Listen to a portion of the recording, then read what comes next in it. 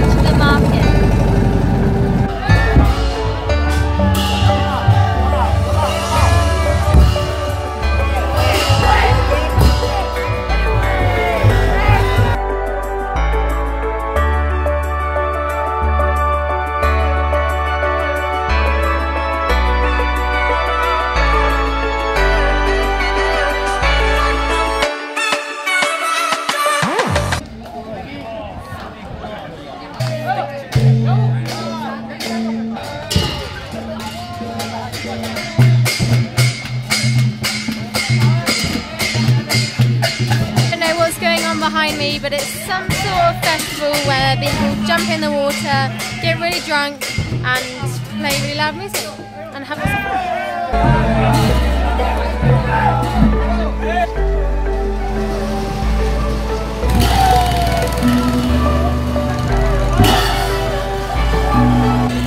We just got given some rice paper.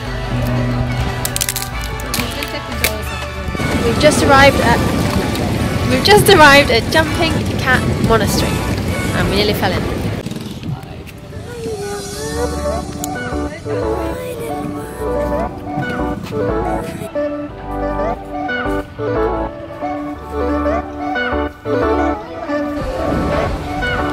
This is basically just a sacred island with temples on it, which is also home to many cats.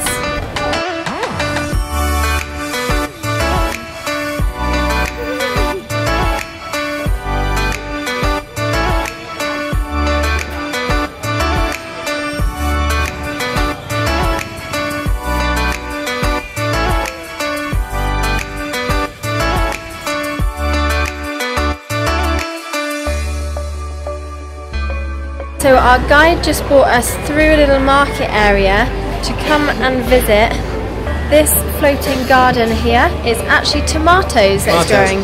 Can you imagine that tomatoes are floating in their own garden?